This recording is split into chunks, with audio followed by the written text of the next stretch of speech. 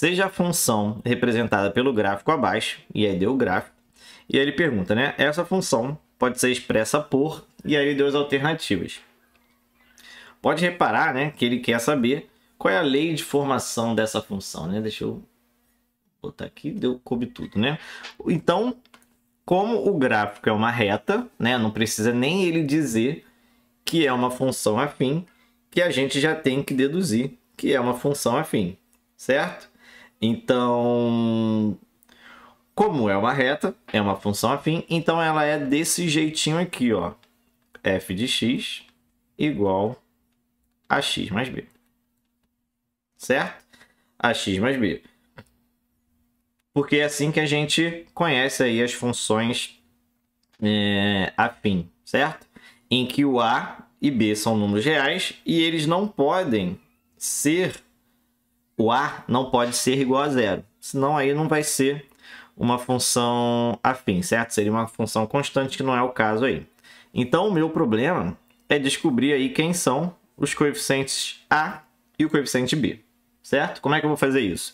Eu vou pegar alguns pontos específicos aí, alguns pontos estratégicos dessa função, e isso vai me ajudar a descobrir qual é essa, essa lei de formação da função. Então, note que esse ponto que está aqui, a gente sabe as coordenadas, certo? A gente sabe que as coordenadas então, aí, menos 3, que é a coordenada x, está aqui embaixo, e 11, que é a coordenada y, que está aqui, certo? Com é, esse outro ponto aqui, a gente também tem as coordenadas, que é a coordenada aqui 2 em x e 1 em y, né? Tá 1 ali.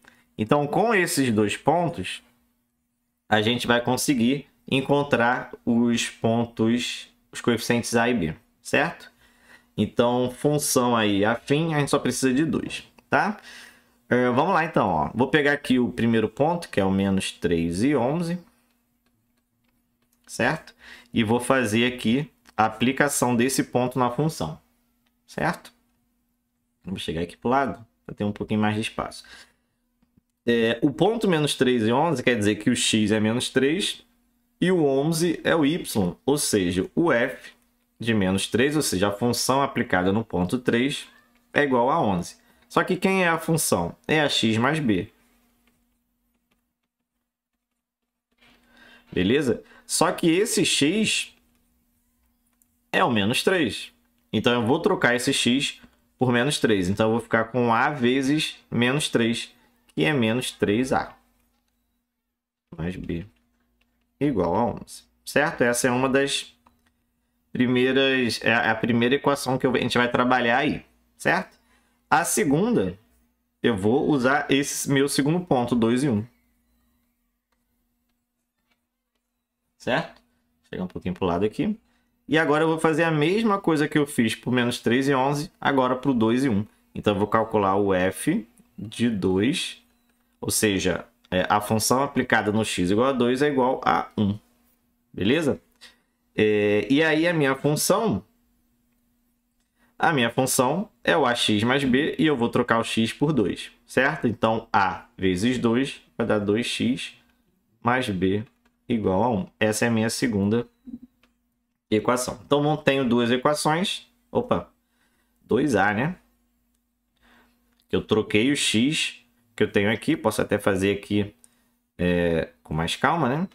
O f é ax mais b.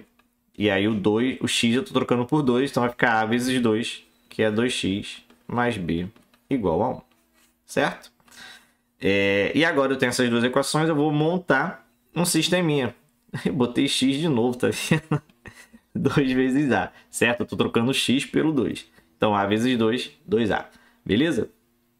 É, e agora eu vou fazer o sistema. Então, eu tenho aqui ó, duas equações para encontrar os valores aí de A e de B. Então, menos 3A mais B igual a 11 e o 2A mais B igual a 1.